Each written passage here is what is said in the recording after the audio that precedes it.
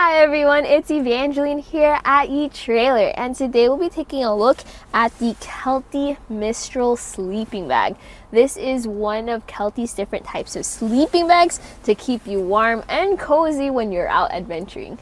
This is the Kelty Mistral in size kids with the colors of orange and teal and with the degree rating of 20. So you have different options when it comes to colors, when it comes to sizes or I guess lengths of sleeping bag, as well as when it comes to degree ratings. We'll talk about those different categories later on in this video and compare them with others of the same type but different ratings. But here, we're gonna focus on what makes the Mistral special, and that is where it covers the essentials without being too pricey. So we're gonna start from the bottom and head to the top. So notice down here how we have our foot box. It's a relatively spacious foot box, just enough for your feet as well as if you want to tuck like your shoes or your socks in there to keep them warm through the night, you can do so. Now, if you are storing things over in the foot box, remember you won't be able to access it unless you reach all the way in there because unlike the tuck or some of Kelty's more premium options, it does not have a zipper for easy ventilation. In fact, the closest zipper is going to be right where your knees are. Notice how that even when your zipper is all the way closed, you still have an extra flap there just to make sure that you can stay warm and insulated. The sides of the Kelty bag have an extra layer or an extra flap and that's going to make sure that you are nice and warm inside and it covers all of those seams. So that's also called the anti-snag zipper construction. So it's nice because then you don't have it snagging on the sleeping bag itself and tearing it up, but it does kind of snag or I guess stick over to the end. Now the top zipper has a little bit more of a familiar design. It's a double zipper. That way, whether you're zipping it from the inside or the outside, you can do so. It also has that anti-snag construction or that extra lip of insulation. Speaking of insulation, this sleeping bag uses Cloud Loft synthetic insulation. So the focus of this one is going to be where it keeps your sleeping bag light but insulated. If you want something a little bit more heavy duty though, you're gonna wanna look at the ThermaPro insulation that you can find in the Tuck series. And finally, once you get to the top and zip it all the way up, you, you now see that it has a mummy design. So you have a cinch cord right over here. You're gonna pull that so it cinches around your face. So make sure you get both cinch cords. The idea is to cover your face and leave your mouth and your nose open so you don't gather condensation inside the sleeping bag. I do like how it cinches really, really tight around the face, but also I would prefer that have a layer of insulation on top just so it's not tightening down around my eyes. That's something that the Kelty Tuck does a little bit better, but I do like how this does the job. So this is the kid size, which is ideal for people that are not taller than five feet, but there are other sizes as well, ranging from kids all the way to long. Let's take a look at that. So some of the Kelty sleeping bags come in different lengths. So you can have it ranging from kids all the way to long. So for kids, the height recommended for the sleeping bag is up to five feet tall. Then you have the women's, and the height recommended is up to 5 feet and 8 inches tall. The regular is recommended for people up to 6 feet tall. And finally, the long is going to be for people that are up to 6 feet and 6 inches tall. Keep in mind though that this is only the length of the sleeping bag and the height of the person.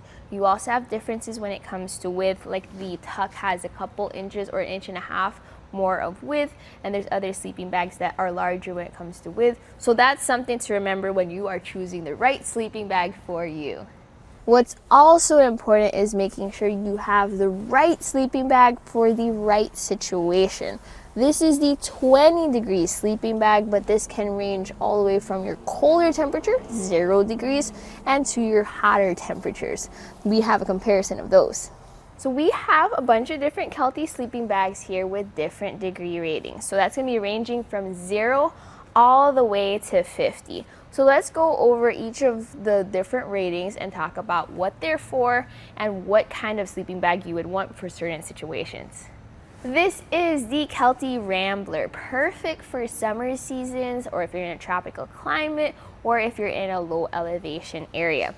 Looking at the insulation, you can see it's very, very thin, which means you're not too warm at night, but this is also more lightweight and more compact than your other sleeping bags. And here we have the Kelty Cush and the Kelty Catena. So these are all rated for 30 degrees. So this is going to be slightly cooler than your Kelty Rambler. This is good for what we call two-season camping, which is usually spring or summer in certain areas. And this is a good in-between sleeping bag. If you're not too sure if you're going to be cold or not too sure if it's going to be warm, you'd want to go with a middle-of-the-road 30-degree sleeping bag.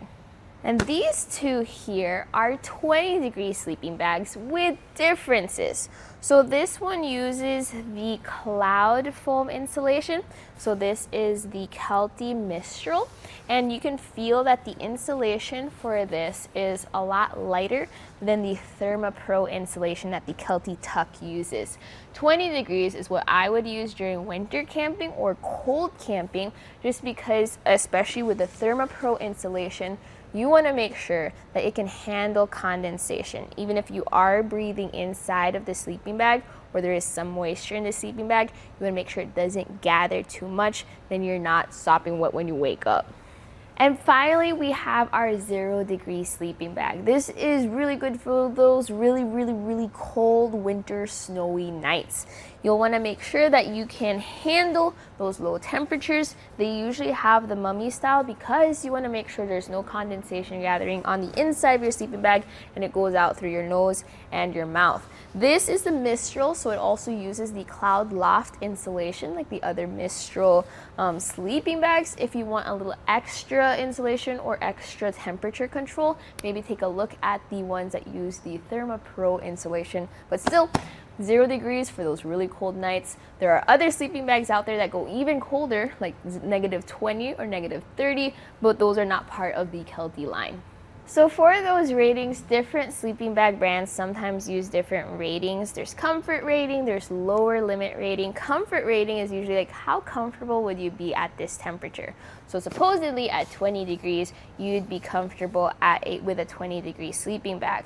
Other brands also have a difference between women's and regular sleeping bag ratings. So supposedly the women's sleeping bag is warmer than another sleeping bag of the same temperature. Now, I tried both of our 20 degree sleeping bags and I didn't really notice that big of a difference other than the Therma Pro insulation being that much warmer than the Mistral insulation. So that's something else to consider. If you do feel like you need a little extra warmth, check out the women's line of sleeping bags.